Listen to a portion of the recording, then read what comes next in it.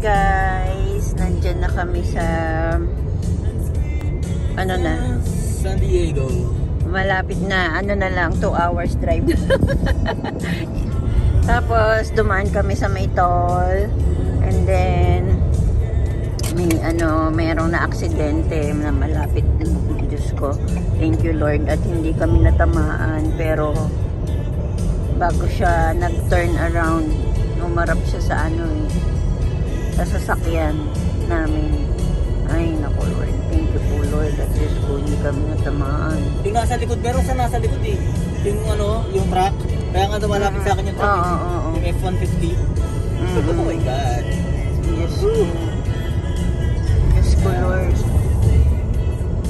Ano ba yan? Kaya, lagi-lagi tayo magdadasal. Diyos ko, nakakatakot.